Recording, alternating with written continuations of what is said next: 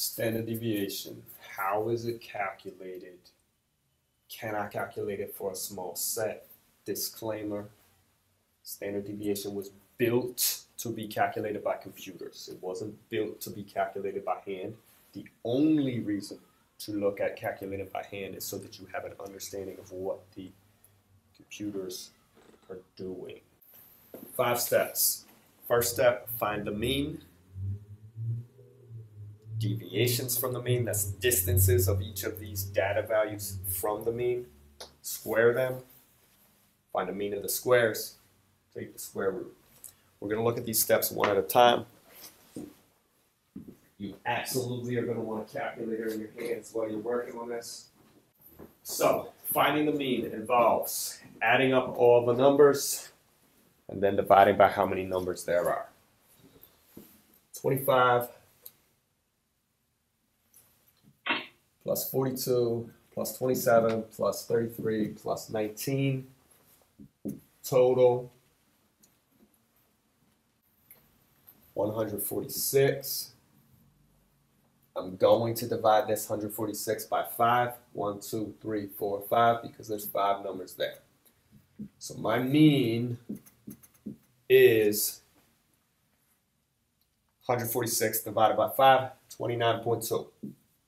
If you're struggling at this point, you need to go back and work on an older topic. Work on mean before you come to standard deviation.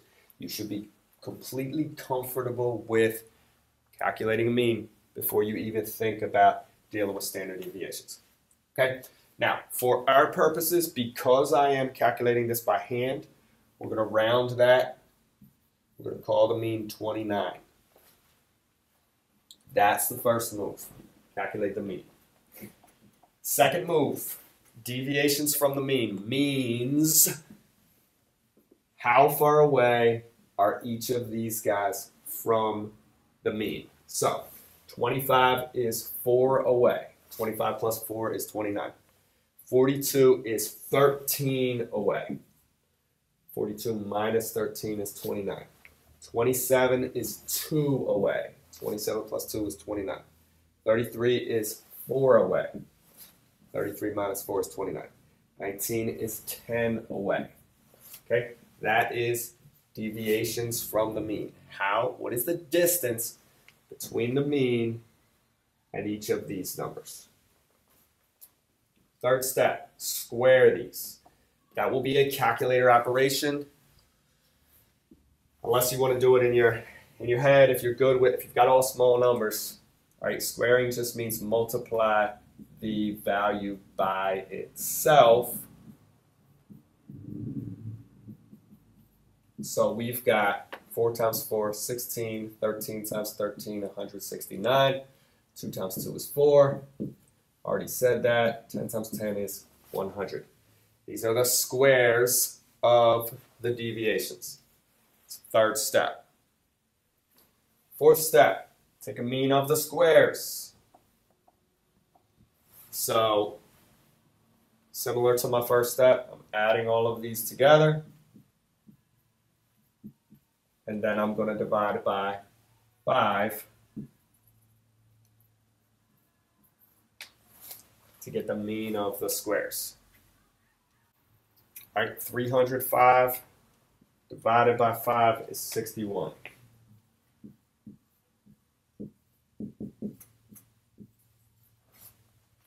That's the mean of the squares.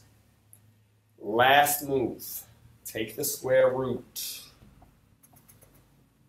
Take the square root. Right? That's the opposite of squaring. It's unsquaring. So, on my calculators,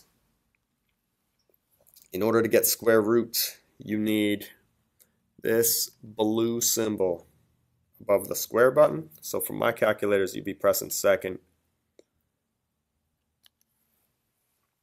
All right, to get a square root symbol. Uh, if you're using a different calculator, if you're using a computer calculator, you're just looking for that guy. It looks a little bit like a long division symbol, but uh, square root. So for now, we're just going to type in square root of the number hit enter, get an answer. Later in the year, we'll look at what exactly the calculator is doing when it's taking a square root. All right, so for us, square root of 61 is about 7.8. That is the standard deviation. Okay, once again, the steps are find the mean of your original numbers,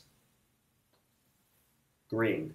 Get the distance from each of your original numbers to the mean. You can use subtraction for that.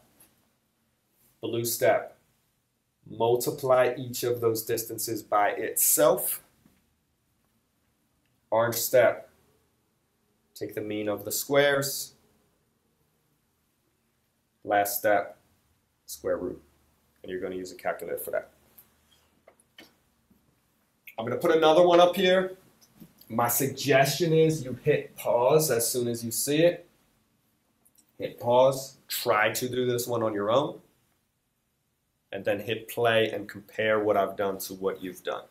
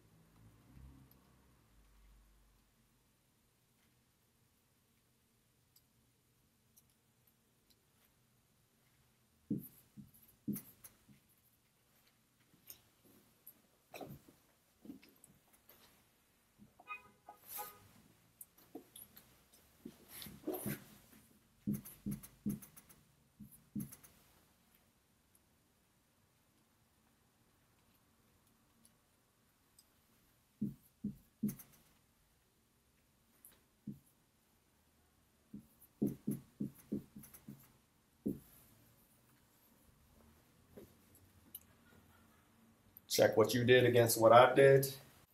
If there are discrepancies and you can't figure out why I did something differently, then you're going to have to ask the question in class, unless you don't know me, in which case, roll back to example one. That's standard deviation. What does it get used for? Standard deviation gets used when you have very large data sets large data sets to talk about how normal or abnormal a number, an individual number is within that data set. So, common question when you're dealing with standard deviations. How many standard deviations away from the mean is fill in this piece of data. Okay? before you can ask that question, you need to know what the mean is. So that's either given to you or uh, calculated in some way, and you need to know what the standard deviation is. Again, it's either given to you or in some way it will be computed. So if I know that the mean is 14, I know that the standard deviation is 3, then somebody could ask me the question, how many standard deviations away from the mean is 20? Okay? All they're really saying is if I start at 14 and I count by threes, how many times do I need to count before I reach 20 or before I pass 20? So 14 plus 3 is 17, 17 plus 3 is 20. The answer to this question is two standard deviations.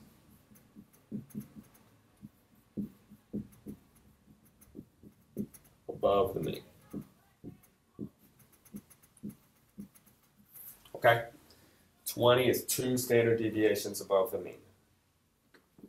Mean is here. I counted by three twice. Counted by my standard deviation twice and reached 20. For our purposes, for our purposes, I'm not looking for exactness. So if we start at 14, minus 3, we reach 11. Minus 3, we reach 8. Okay, that's kind of close to 7. If we subtract 3 more, we're down to 5. Right, so